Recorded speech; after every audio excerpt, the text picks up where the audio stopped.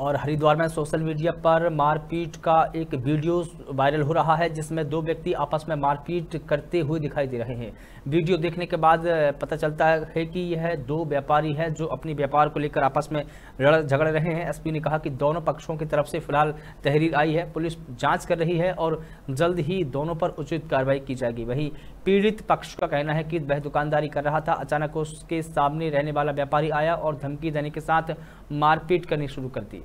हरिद्वार से नरेश कमर की रिपोर्ट।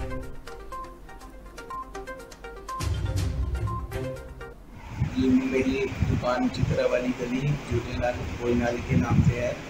और उन, एक उनसे जो उनकी जो मनोज नंदानी जी की दुकान ठेला जो है गोदले वाला नाम से बाहर लगता है जिन्होंने मेरी को आके मारा दुकान में घुस के मारा और जानलेवा हमला किया और मेरे सिर फाड़ दिया।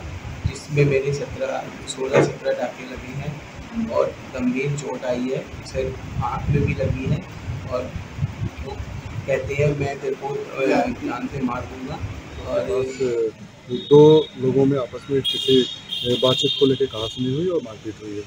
दोनों तरफ़ से हमारे पास से एप्लीकेशन आई है, उसकी जाँच की जा रही है और जाँच करने के बाद जो भी आवश्यक होगा, दोनों के मेडिकल्स भी आ रखे हैं उनके आधार पे उसमें मुकदमा पंजीकृत करके आवश्यक सर कल वो लोग आए थे कल शाम को आए थे मैं इंस्पेक्टर को भी और कंसर्न सब इंस्पेक्टर को भी बता दिया हूँ कि इसमें सारे डॉक्यूमेंट कलेक्ट करें और उसके बाद जो भी सुसंगत धाराओं में कार्रवाई हो सकती है